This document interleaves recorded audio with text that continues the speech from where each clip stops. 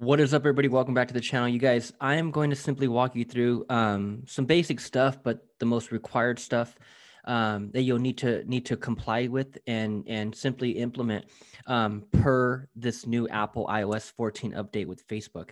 So Facebook is is as a lot of you guys know, they're going through a major U-Haul and just simply updating and, and tweaking a lot of the a lot of the requirements that are needed um, from advertisers like us which are basic and simple and and just kind of you got to just roll with the punches and and and and go with what it is. I mean it is what it is type of type of thing right? And you got to just make sure you you you update and cross your t's and dot your i's and and make sure that you're just on on board with any change that this platform makes. And so that's part of evolving that's the part of getting better and, and staying on top of your shit is making sure that you're you're you're you're in tune with what's going on. And so this right here as a lot of you guys know if you're in the advertising world um, the facebook world um, the few changes have been the conversion the pixel um, integrating your custom domain with cart with um, with Facebook.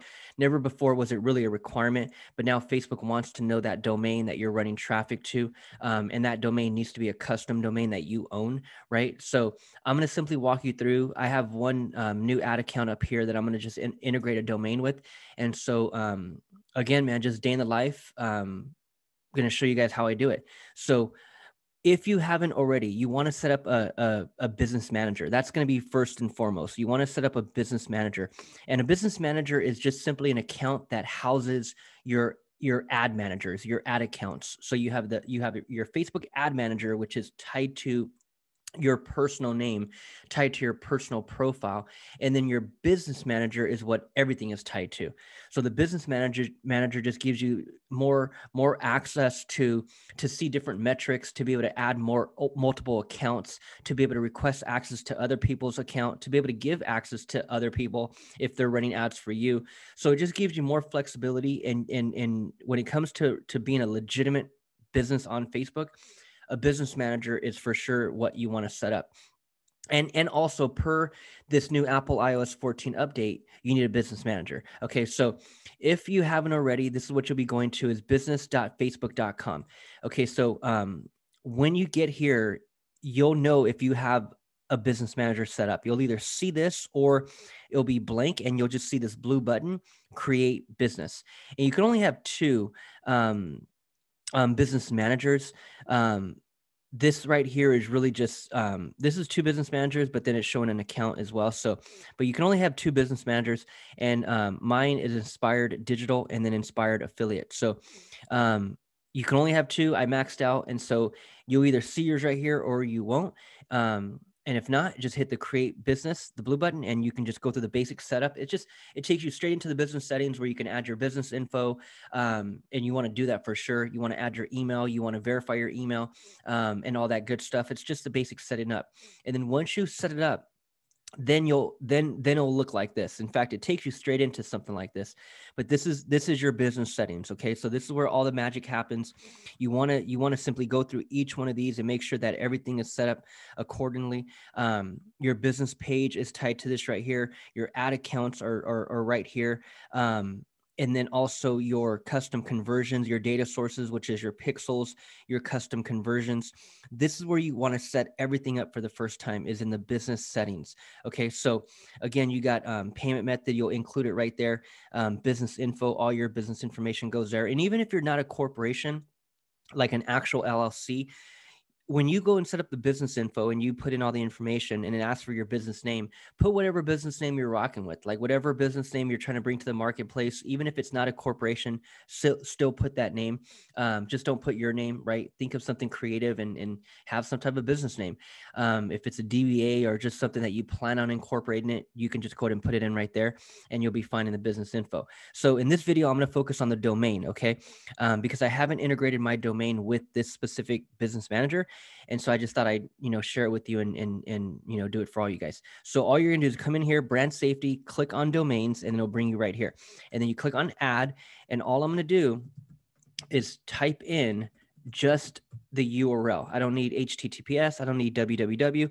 It's just the, the URL. Okay. So inspireddigital.com. I'm going to click on add domain. And then once you click on add, it's going to bring you back over here and you're going to be like, holy shit, what did anything happen? Yes, it did happen. So what you have to do though is you have to hit refresh. So you're just going to hit refresh like that. And then it's going to give us a step of, of a three step, you know, um, set of instructions here that we'll have to um, comply with and go um, and go implement into or go integrate into into GoDaddy. So all we're going to do now is follow these steps right here. And it's really just, well, it's all three. So log into the domain register, which, registrar, which I'm going to show you an example off of, off of GoDaddy. I get all my domains through GoDaddy and, and most of the, the domain registrars, however the hell you pronounce that, normally they're all the same. So you just log in and just follow the basic DNS settings and then you can you can do this even on on your end so all i'm going to do is i'm going to simply um, log in right here and I'm going to copy number two. So I'm going to add a text record using that right there. So I'm going to come in here to my actual domain. I'm going to hit, I'm going to click on my link, and then I'm going to simply um, come down to the DNS settings. So just scroll all the way down, look for manage DNS. So depend, you know, depend on what, you know, domain registrar you're using, just look for the DNS settings. Um, and then so over here in GoDaddy, it's right here. And all I'm looking for is the add. So I'm going to add a TXT record. And the at, the host sign is going to be the at. So it says it right over here is um, number three, the at sign in the host field. Okay. So I'm going to, I'm going to leave that there and I'm going to simply paste in that link. There's the TXT value and I'm going to hit save. And what I like to do a lot is I like to refresh the page, right? Just give it a little, a little freshy real quick refresh that bad boy, and then come back over here to the business settings and you're going to hit refresh. Actually, you're going to click verify. Um, and sometimes you have to hit it a couple times, but let's see if one time does the trick. Actually, see, so if, if you see this record mismatch, then all you're going to do is you're going to simply scroll down. Let me um, click it again, verify. Verify one more time. Boom. You see that? So don't get don't get discouraged. If you click that damn thing and see the error, do it again. Do it again. As you can see how to do it a couple times and then boom, it's verified. Okay, so now here's what I got to do now. Now, if I click on domains, right over here to the left. So I'm just what I'm gonna do is actually I'm gonna refresh it. So I'm gonna always refresh, right? Refresh the GoDaddy, refresh this over here. Now this red dot um, up here at the top will will turn green. Okay, so now now I got a re, a green dot, and now everything is connected. So my domain is connected in Facebook, connected assets, see if I need to add anything. So what I'm going to do is I'm going to add, add it to this business page right there. I'm going to click on add and there is the added asset. So you want to make sure you do that. Um, I don't need to add um, anything else. We're good there.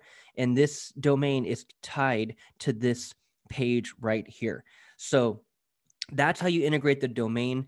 Now, um, there's a few more steps that you want to do inside of the actual um, um, um, events manager but that's when you that's when you that's when you add your pixel onto the page. And i won't show you that in this video um, that'll be in the next one but um, i still have to take my pixel and add it to some pages which i i haven't done. So i won't be able to set up the next step but that's how you do the domain okay? So this right here is, is is probably the most important because before what you used to be able to do is just simply run ads and when people click they can go to your clickfunnels page or they can go to your kartra page or they can go to any landing page software that you're using right? Your website whatever. And that url doesn't never had to be yours. Like i could be using kartra's url default url or clickfunnels you know default url or whatever. But now as i i drive traffic Facebook wants that domain to be yours, your custom domain. Okay. So that right there is the most important, you guys. That's what I call step one. So get that part, get your business manager set up, and then simply integrate your domain. And I'll show you what to do with that domain on the next video. All right, guys, over and out. I'll see you soon.